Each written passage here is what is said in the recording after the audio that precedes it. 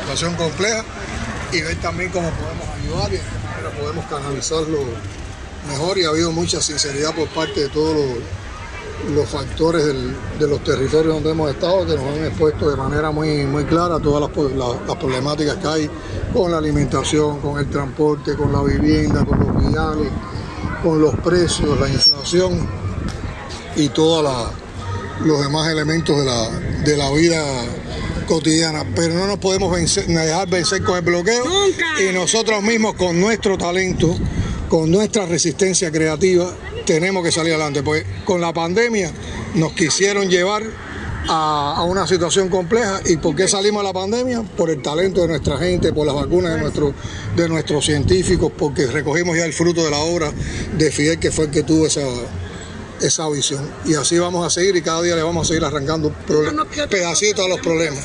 Y, a todo el pueblo tenga la seguridad que vamos a estar trabajando eh, sin descanso por, mejorar la, la, situación y además lo vamos a hacer con ustedes, porque aquí lo que queremos es cada vez que haya más participación más democracia y sobre todo más control de la población a todos los procesos que estamos viviendo, para que con ese control popular las cosas sean con más calidad, no se puedan desviar los recursos y ustedes entonces se sientan más partícipes de todo lo que hacen.